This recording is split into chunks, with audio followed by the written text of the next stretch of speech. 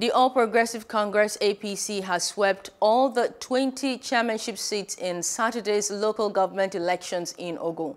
The chairman of Ogun State Independent Electoral Commission, Babatunde Osibodu, on Sunday announced the results of the election. He added that the total number of votes cast in the chairmanship elections in the 20 local government areas in the state was 396,641.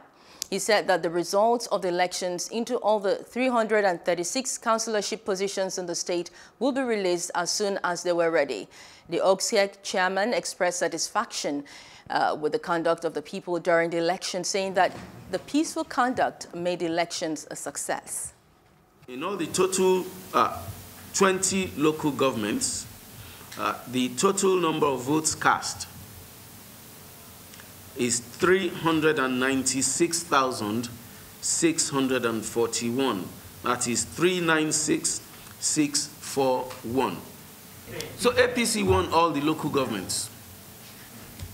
All 20 local government chairmen are APC, magnanimous in victory. Those who did not win do not be sore losers. In three years' time, there will be another opportunity. Go back home, re strategize, and hope that you will do better next time.